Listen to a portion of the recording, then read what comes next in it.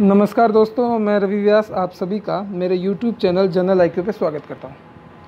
आज अपने इस वीडियो में जो अपना राजस्थान जियोग्राफी का, जो अपने R S M S S B जे के लिए स्टार्ट किया है, उसका सातवां लेक्चर है। इसे पिछले लेक्चर में अपन ने थार के मरुस्थल का एक पार्ट पढ़ा। उसी पार्ट को जो हमारा क्षेत्र उसमें सबसे लास्ट में अपन ने पढ़ा था, उसी से ही आगे अपने स्टार्ट करते हैं इस वीडियो में। तो आइए स्टार्ट करते हैं। जो थार का मरुस्थल है जो थार का मरुस्थल है अपना, मरुस्थल है, उसको दो भागों में डिवाइड किया। पहला जो था, वो शुष्क शुष्क रेतीला प्रदेश था। और दूसरा जो था, वो अर्ध शुष्क था। दूसरा क्या था अपना? अर्ध शुष्क। तो जो रेतीला पार्ट है, आज पढ़ेंगे अपने। पहले डायग्राम में देखें, अर्ध शुष्क और जो है, पूरी तरह जो शुष्क है, वो रेतीला प्रदेश अपना है का। तो ये अपन ने देखा कि ये जो अपना है, ये वाला एरिया यहाँ से यहाँ तक का जो एरिया अपने को दिख रहा है, ये क्या है?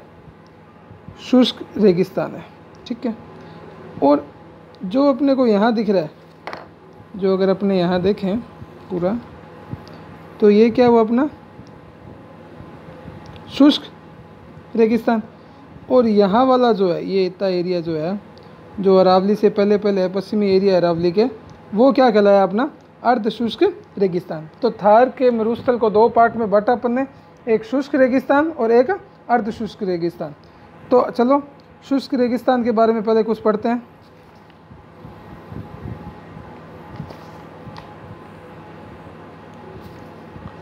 जो शुष्क रेतीला प्रदेश है या शुष्क रेगिस्तान है जो, शुष्क रेतीला प्रदेश है जो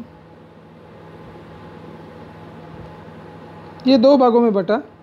पहला जो था, बालू का स्तूप मुक्त। बालू का स्तूप जो मुक्त प्रदेश। और दूसरा, बालू का स्तूप युक्त प्रदेश। दो पार्ट में बांटा अपन। ने तो बालिका, बालू का स्तूप मुक्त जो प्रदेश था, वो उसका एरिया कितना है? लगभग इकतालीस पॉइंट पचास परसेंट जो एरिया है टोटल थार के मरुस्थल का। उसमें से इकतालीस पॉइंट पचास परसेंट एरिया किसका है? वो बालू स्तूप मुक्त एरिया का है। और जो बालू का स्तूप युक्त एरिया है, वो कितना है? अट्ठावन पॉइंट पचास परसेंट। और टोटल क्षेत्रफल कितना है? थार के मरुस्थल का लगभग दो लाख नौ हज़ार बयालीस वर्ग किलोमीटर, पिछले वीडियो में अपन ने देखा था। उसमें से जो इकतालीस पॉइंट पचास परसेंट एरिया है, वो क्या है? बालू का स्तूप मुक्त है। और अट्ठावन पॉइंट पचास परसेंट एरिया जो क्या है? बालू का स्तूप युक्त एरिया है। चलिए आगे स्टार्ट करते हैं। अब अपन ने अमादा की बात की थी। आपको याद हो तो एक त्रिभुजाकार आकृति थी। ये किसमें आती है? ये बालू का स्तूप मुक्त क्षेत्र में है। तो ये किसमें है? बालू का स्तूप मुक्त क्षेत्र में। ठीक है जी। तो यहाँ ये कौन कौन से एरिए थे? यहाँ ये पोखरण था, जो जैसलमेर में आता है। यहाँ कौन सा था? बालोतरा। जो किसमें आता है बाड़मेर में। और ये एरिया था फलोदी का, जो आता है जोधपुर में। और ये क्षेत्र क्या कहलाया? त्रिभुजाकार क्षेत्र हमदा याद है आपको पिछले वीडियो में अपन ने देखा?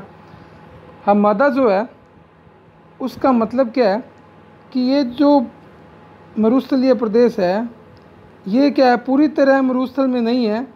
यहाँ क्या है? जो चट्टानी पहाड़ियाँ हैं, या चट्टानी रेगिस्तान अपने कह सकते हैं। चट्टा, चट्टानी जो है, रेगिस्तान पाया जाता है यहाँ। एकदम प्योर जो है, बालू रेत नहीं मिलती। यहाँ कुछ ना कुछ जो है, चट्टानी जो है, रेगिस्तान पाया जाता है। ठीक है, पहली चीज़। फिर अपने देखें। जो यहाँ बालोतरा था और यहाँ अपना क्या था? पोखरण। तो बालोतरा से पोखरण के बीच में, इसी अमादा क्षेत्र में, बालोतरा से पोखरण के बीच में, इसी अमादा क्षेत्र में क्या पाई जाती है? अवशिष्ट पहाड़ियाँ पाई जाती हैं। अवशिष्ट पहाड़ियाँ पाई जाती है। इसलिए मैंने कहा, ये एरिया कौन सा है? बालू का स्तूप मुक्त एरिया है। क्यों? क्योंकि यहाँ चट्टानी जो है रेत, या चट्टानी क्षेत्र जो है, वो पाया जाता है। तो अवशिष्ट पहाड़ियाँ पाई जाती हैं। और इन्हीं अवशिष्ट पहाड़ियों को संयुक्त रूप से क्या बोल देते हैं अपने? मगरा। तो ये फ़र्स्ट ग्रेड में आया हुआ है कि मगरा क्या है? फ़र्स्ट ग्रेड का भी पीछे जो एग्ज़ाम था, उसमें पूछा गया कि मगरा क्या है? तो अपने कह सकते हैं कि जो अवशिष्ट पहाड़ियाँ हैं, कहाँ पे? पोखरण से बालोतरा के बीच में। उसको अपने क्या बोलते हैं? मगरा। एक जगह और भी हैं ये मगरा पहाड़ियाँ, वो कहाँ हैं? जो अरावली का क्षेत्र है। जो अरावली का क्षेत्र है, वहाँ उदयपुर के कुछ इलाकों में, जो उदयपुर एरिया है, उसके आसपास अरावली क्षेत्र में जो उदयपुर है, उसके आसपास भी जो अवशिष्ट पहाड़ियाँ पाई जाती हैं, उनको भी क्या बोलते हैं? मगरा। तो पूरे राजस्थान में दो जगह जो है मगरा पहाड़ियाँ पाई जाती है। और अगर अपने थार के मरुस्थल की बात करें तो उसमें जो है, और उसमें भी जो है बालू का स्तूप मुक्त क्षेत्र की बात करें, जो शुष्क रेतीला प्रदेश में आ रहा है तो वहाँ मगरा कहाँ पाया जाता है? बालोतरा से पोखरण के बीच का जो एरिया है, वहाँ पाई जाती है। मगरा होती क्या है? पहाड़ियों को मगरा बोलते हैं। तो ये फ़र्स्ट ग्रेड में क्वेश्चन आया भी हुआ है तो ये काफ़ी इम्पोर्टेंट है। आगे चलते हैं। अब राजस्थान में जो अपने देखते हैं, मरुस्थल के प्रकार कितने हैं? राजस्थान में मरुस्थल के प्रकार। के प्रकार। ठीक है? तो पहला अपन पढ़ चुके हैं हम मादा ठीक है? इसको क्या बोलते हैं अपने? पथरीला मरुस्थल। या चट्टानी मरुस्थल भी इसको बोल सकते हैं। तो पहला मरुस्थल का प्रकार राजस्थान में कैसा पाया जाता है? हम मादा ये कहाँ है? आपको बता ही दिया था। जैसलमेर का जो पोखरण, फलोदी का जोधपुर और बाड़मेर का बालोतरा। दूसरा पाया जाता है इर्ग दूसरा है इर्ग, जिसको अपने संपूर्ण मरुस्थल बोलते हैं, या महान मरुस्थल भी बोल सकते हैं। तो इर्ग क्या हुआ? संपूर्ण मरुस्थल, जहाँ मतलब पूरी तरह से एंटीसोल या बालू मिट्टी जो पाई जाती है, जहाँ रेत के टीले हैं, वो क्या कहलाता है? इर्ग। और तीसरा अपना क्या हुआ? रेक। तीसरा क्या हुआ? रेक। तो तीन टाइप के मरुस्थल पाए जाते हैं। कौन सा? मादा इर्ग और रेक रेक क्या है? मिश्रित मरुस्थल। मिश्रित। जो क्या है? पथरीला भी है और संपूर्ण मरुस्थल भी है। तो इन दोनों का मिश्रित है, उसको क्या बोल देते हैं? रेक बोल देते हैं। तो अगर अपने देखना चाहें तो अपन ने आमादा बनाया। तो ये क्या है? चट्टानी मरुस्थल। इसके आसपास जो मरुस्थल पाया जाएगा, वो कौन सा होगा? रैग बोल सकते हैं उसे। क्यों? क्योंकि ये तो चट्टानी इसके पास जाएँगे, जैसे जैसे थोड़ा थोड़ा दूर होते जाएँगे तो क्या है, मरुस्थलीय प्रदेश आने लगेगा। तो वो कई जगह क्या होगा, चट्टानी होगा, कई जगह मरुस्थली होगा तो दोनों का मिश्रण क्या कहलाता है अपना? रैग मरुस्थलीय प्रदेश कहलाता है। ठीक है जी। इसके अलावा क्या है, एक और शब्द आता है, लघु मरुस्थल इन तीन के अलावा मतलब हमादा, इर्ग और रैग के अलावा एक और क्षेत्र आता है जो किसे क्या बोलते हैं, लघु मरुस्थल ये लघु मरुस्थल क्या है? कि जो गुजरात के कच्छ है। गुजरात में कच्छ का रन है।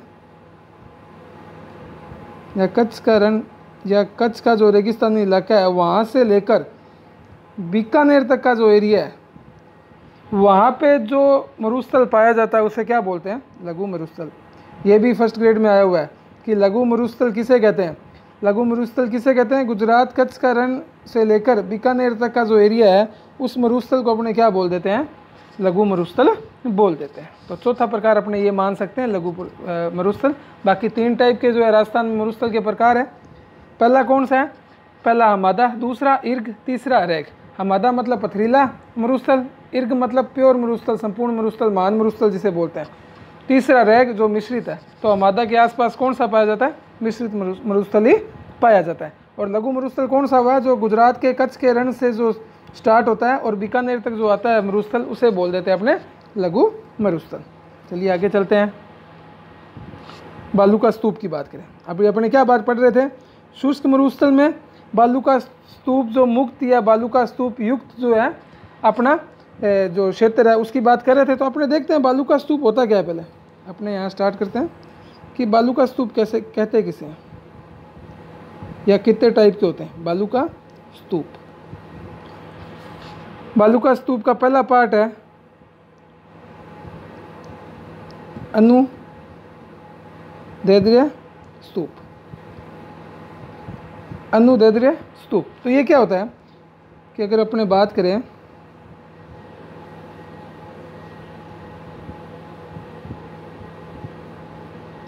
स्तूप की बात करें तो मन माना ये पवन की दिशा है। ये क्या है? हवा की या पवन की दिशा है। तो बालू का स्तूप पढ़ रहे हैं? कितने टाइप होता है? पहला प्रकार उसका क्या है? अनुदैर्य स्तूप। तो ये क्या है? पवन की दिशा में? मान ली मैंने, ये वाली। और यहाँ कोई बालू का स्तूप था। यहाँ कोई बालू मिट्टी का स्तूप था। अब अगर ये स्तूप जो है, इस पवन की दिशा में ही शिफ्ट हो जाए मतलब ये यहाँ शिफ्ट हो जाए अगर ये यहाँ शिफ्ट हो जाए पवन की दिशा में, ये पवन की दिशा थी, ये बालू का स्तूप था तो पवन चलने पर, हवा चलने पर, अगर ये बालू का स्तूप यहाँ पवन की दिशा में ही जो है शिफ्ट हो जाए, या पवन की दिशा के अनुदित शिफ्ट हो जाए, या पवन की दिशा के समांतर जो शिफ्ट हो जाए तो उस प्रकार के बालू का स्तूप को क्या बोलते हैं अपने? अनुदैर्य स्तूप बोलते हैं। ठीक है? इसे जो है फ़र्स्ट ग्रेड में पूछा गया था, एक क्वेश्चन आया था फ़र्स्ट ग्रेड में। फ़र्स्ट ग्रेड में क्या पूछा गया? कि जो रेखीय बालू का स्तूप, क्या होता है?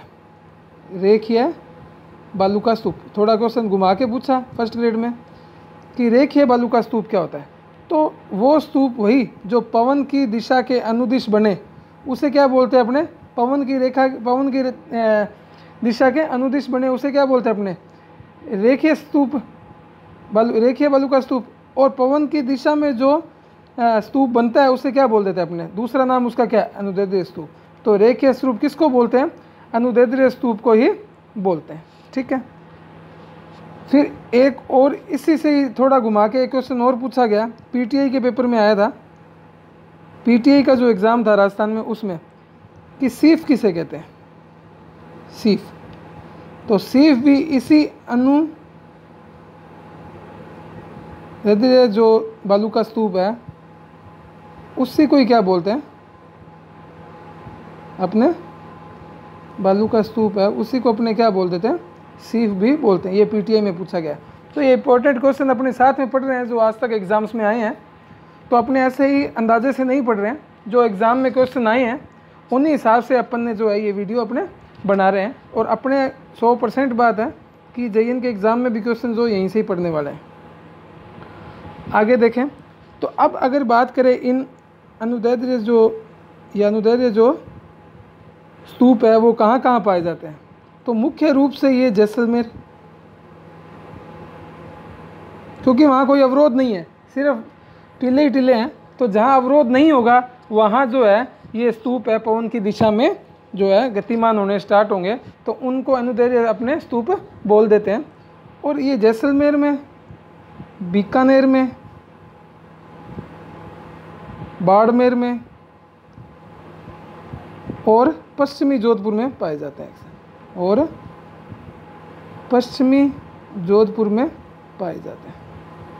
कौन से? अनुदैर्य जो स्तूप है। अनुदैर्य बोल दें अनुदैर्य बोल दें, जो भी आप बोलना चाहें, वो स्तूप कहाँ है? जैसलमेर, बीकानेर, बाड़मेर और पश्चिमी जोधपुर में पाए जाते हैं। ठीक है? फिर दूसरा टाइप बात करें बालू का स्तूप की तो दूसरा टाइप क्या है? अनुप्रस्थ अनुप्रस्थ। पहला अनुदैर्य हो गया, दूसरा अनुप्रस्थ बालू का स्तूप हो गया। तो ये क्या होगा कि माना ये पवन की दिशा थी अपने, ये क्या थी पवन की दिशा? यहाँ फिर क्या आ गया अपना, बालू का जो है, टीला आ गया, बालू का स्तूप। बालू का स्तूप। तो यहाँ क्या है, अगर कोई अवरोध आ जाए, वहाँ क्या था अनुदैर्य में कि कोई भी अवरोध नहीं था। अब क्या है, अवरोध अगर मान लो आ गया तो जो बालू का स्तूप है, इधर तो जा नहीं पाएगा तो वो क्या करता है कि इसके लंबवत जो है, इधर आने की कोशिश करने लगता है। तो पवन की दिशा के अगर लंबवत जो बालू का स्तूप जो है अग्रसर हो जाएँ या बढ़ें, या उनका जो है, आगे बढ़, बढ़ना जो है, पवन की दिशा के लंबवत होना स्टार्ट हो जाए तो उस प्रकार के स्तूप को क्या बोलते हैं अपने? अनुप्रस्थ बालू का स्तूप बोलते हैं। और ये तभी होगा जब इनके मार्ग में कोई अवरोध उत्पन्न हो जाए। तो अवरोध क्या होगा? कोई छोटी मोटी पहाड़ियाँ हैं या बड़े पहाड़ हैं, वो अवरोध का काम करेंगे। हवा हवा का अवरोध कौन करेंगे? हवा का अवरोध पहाड़ी करेंगे। तो इसलिए ये जो अपने थोड़ा हल्का पहाड़ी इलाका है, वहाँ जो अपने को मिलते हैं, जहाँ अरावली की जो रेंज है, वहाँ मिलते हैं। या अपने कहते हैं, जोधपुर में ये मिलता है। कुछ एरिया जो बाड़मेर का, वहाँ भी ये मिलता है। और सिक्कर झुंझुनू में ही रहते हैं। सिक्कर झुंझुनू में ये रहता है। कि यहाँ अवरोध आने स्टार्ट हो जाते हैं। और इन्हीं अवरोध के कारण जो है, जो स्तूप है, वो पवन की दिशा के लंबवत होना लंबवत अग्रसर होना स्टार्ट हो जाते हैं, ठीक है? फिर तीसरा टाइप आता है, बरखान। या बरछान। तो पहला कौन सा था? अनुदैर्य दूसरा, अनुप्रस्थ। तीसरा बरखान। अनुदैर्य क्या कर रहा था? पवन की दिशा के, की अनुदिशी जो है वो बालू का स्तूप बढ़ रहा था, अनुप्रस्थ में उसके 90 डिग्री बढ़ रहा था या लंबवत बढ़ रहा था। अब अर्थान में क्या होगा? ये गतिशील अर्धचंद्राकार गतिशील अर्धचंद्राकार बालू का स्तूप होता है। ये क्या है? गतिशील अर्धचंद्राकार बालू का स्तूप होते हैं। और इनका अगर अपने विस्तार देखें, किसका? बरखान या बरछान का अगर अपने विस्तार देखें तो इनका विस्तार क्या है? बरखान या बरछान का विस्तार देखें अपने। तो इनका है, अपने बात करें, बालोत्रा, जो बाड़मेर में है। बालेरी, चूरू। बालेरी जगह है, कहाँ? चूरू में। वहाँ इनका विस्तार है। रावतसर जो गगर का एरिया है रावतसर हनुमानगढ़ जो गगर का एरिया है, वहाँ भी जो बरखान या बरछान जो अर्धचंद्राकार बालू का स्तूप मिलते हैं रावतसर हनुमानगढ़। तो अपने गगर का एरिया आप बोल सकते हैं। तीन तो ये हो गए कौन कौन से? बालोतरा, बालेरी, चूरू और रावतसर हनुमानगढ़ जो गगर का एरिया उसके अलावा। अगर बात करें अपने तो सूरतगढ़ में, गंगानगर डिस्ट्रिक्ट में, सूरतगढ़ में देशनोक में, बीकानेर डिस्ट्रिक्ट में अगर बात करें अपने तो ये गंगानगर में, ये बीकानेर में लूणकन सर में भी, ये भी कहाँ है बीकानेर में। तो यहाँ जो है, इन बरखान या बरछान का जो अपने को विस्तार मिल जाता है। अब सेकंड ग्रेड में क्वेश्चन आया कि राजस्थान के मरुस्थी मरुस्थलीकरण के लिए राजस्थान के मरुस्थलीकरण के लिए, राजस्थान के मरुस्थलीकरण के लिए कौन सर्वाधिक उत्तरदायी कौन है? मरुस्थलीकरण के लिए सर्वाधिक उत्तरदायी कौन है? ये सेकंड ग्रेड में क्वेश्चन आ चुका है। तो अपने देखें कि जो अनुप्रस्थ था, वो पवन की दिशा के अनुदिश जा रहा था। जो सॉरी जो अनुप्रस्थ था, वो पवन की दिशा के लंबवत जा रहा था। जो अनुदैर्य था वो पवन की दिशा के अनुदिश जा रहा था। तो इसकी या तो लंबवत या समांतर दिशा निश्चित तो है अनुप्रस्थ या अनुदैर्य की। पर जो बरखान है या बरछान है इनकी क्या है? दिशा निश्चित नहीं होती। तो सर्वाधिक जो मरुस्थलीकरण का राजस्थान में उत्तरदायी है वो कौन है? बरखान या बरछान ही बालू का स्तूप जो इनके जो आ, ये उत्तरदायी है राजस्थान में मरुस्थलीकरण। क्यों? क्योंकि जब हवा चलती है तो ये मिट्टी जो है कहीं भी जा सकती है, इसकी दिशा निश्चित नहीं है। तो सर्वाधिक मरुस्थलीकरण जो राजस्थान में है, वो इन्हीं बरखान या बरछान के कारण है अपने। ठीक है? ये सेकंड ग्रेड में आया हुआ क्वेश्चन है। फिर अपने बात करें आगे। उसके अलावा ये तीन तो थे मुख्य है। कौन से? अनुदैर्य अनुप्रस्थ और बरखान या बरछान। उसके अलावा भी जो मिलते हैं तो पैराबोलिक स्तूप। पैराबोलिक स्तूप। तो पैराबोलिक स्तूप कैसे होते हैं? इस टाइप के होते हैं। और ये संपूर्ण मरुस्थल में ज़्यादा पाए जाते हैं। संपूर्ण मरुस्थल जो है, उनमें ही पाए जाते हैं। मतलब एकदम जो पूर्ण रूप से मरुस्थल होगा, वहीं पैराबोलिक स्तूप पाए जाएँगे। ये जो जो कौन सा है? संपूर्ण रूप से जो अपना, क्या कहते हैं मरुस्थलीय प्रदेश क्या बोलते हैं? किसको बोलते हैं? इर्ग को। तो इर्ग क्षेत्र में ही जो है, मरुस्थल का प्रकार है, उसी में ही पैराबोलिक स्तूप पाए जाते हैं। और हम मादा में या रैग में नहीं पाए जाते। ठीक है? फिर पांचवा प्रकार देखें तो तारा बालू का स्तूप। तो ये है, तारे के समान दिखाई देता है।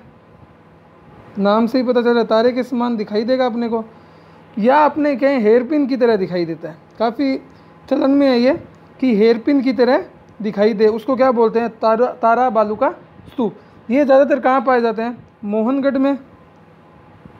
जो जैसलमेर में स्थित है, या सूरतगढ़ में, जो राजस्थान में, गंगानगर में स्थित है सॉरी सूरतगढ़ जो गंगानगर ज़िले में है, और मोहनगढ़ जो जैसलमेर में स्थित है। तो यहाँ जो है, तारा जो बालू का स्तूप टाइप के अपने को बालू का स्तूप यहाँ मिलते हैं, रेगिस्तान, मरुस्थल जो मिलता है, ठीक है? फिर एक और आता है, शब्र काफिज बालू का स्तूप। शब्र काफिज बालू का स्तूप। ये क्या है? छोटे आकार के बालू का स्तूप होते हैं। छोटे आकार के बालू का स्तूप होते हैं। ये जो छोटी छोटी झाड़ियाँ जो होती है, जैसे मान लो यूँ झाड़ियाँ हैं छोटी छोटी उसके आसपास जो है ये बालू का स्तूप बनते हैं। ठीक है? छोटी झाड़ियों के पास। तो अपन ने कौन कौन सा पढ़ा? बालिका स्तूप अपन ने जो पढ़ा? पहला पढ़ा अनुदैर्य अनुदैर्य कहाँ था? अनुदैर्य था पवन की दिशा के अनुदिश। ठीक है? दूसरा था अनुप्रस्थ। पवन की दिशा के लंबवत। सही है? तीसरा था बरखान या बरछान। बरखान या बरछान, ये कहाँ था? ये कहीं भी जा सकता है। और सबसे ज़्यादा मरुस्थलीकरण जो है, इसी कारण होता है। सबसे ज़्यादा मरुस्थलीकरण इसी के कारण होता है। ठीक है? चौथा अपने देखें, चौथा क्या था? पैराबोलिक जो संपूर्ण मरुस्थल में पाया जाता है। पांचवा अपना क्या था? तारा, जो क्या था? तारे की तरह दिखता है या हेरपिन की तरह दिखता है? ये सूरतगढ़ और मोहनगढ़ में ज़्यादा पाए जाते हैं। और छठा क्या था? शब्र काफिस ये कहाँ है? जो वनस्पति होती है, उसके आसपास जो टीले बनते हैं, उनको क्या बोल देते हैं अपने? शब्र काफिज तो ये बालू का स्तूप के जो प्रकार थे, जो अपने राजस्थान में जो पाए जाते हैं। ठीक है? आगे बात करते हैं अपने। आगे अब स्टार्ट करते हैं अपने। अपन ने देखा है बालू का स्तूप के बारे में पढ़ा। अब देखते हैं कि जो राजस्थान में मरुस्थल है